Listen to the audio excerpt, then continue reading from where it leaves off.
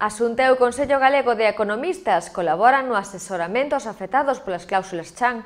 A directora xeral de Comercio e Consumo Sol Vázquez e o presidente do Consello Galego de Colexios de Economistas Miguel Ángel Vázquez asinaron hoxe un acordo para facilitar o cálculo das cantidades indebidamente cobradas. A directora xeral de Comercio e Consumo Sol Vázquez e o presidente do Consello Galego de Colexios de Economistas Miguel Ángel Vázquez Taín asinaron os en Santiago un acordo para facilitar aos consumidores o cálculo das cantidades indebidamente pagadas polas cláusulas chan abusivas. Grazas a esta colaboración, próximamente poñerase a disposición das persoas afectadas unha ferramenta informática que estará disponible para que os consumidores poidan recibir asesoramento tanto nas sete oficinas do Instituto Galego de Consumo e da Competencia como nas oficinas municipais e asociacións de consumidores e usuarios. A cursos profesionais se achegará a formación técnica específica.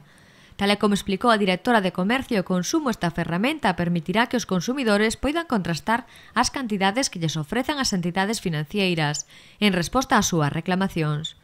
Así mesmo, Vázquez Zabea lembrou que usuarios e consumidores teñen á súa disposición todos os medios cos que conta a Xunta para que poidan reclamar ante as entidades bancarias a devolución do diñeiro cobrado indebidamente a través das cláusulas chan.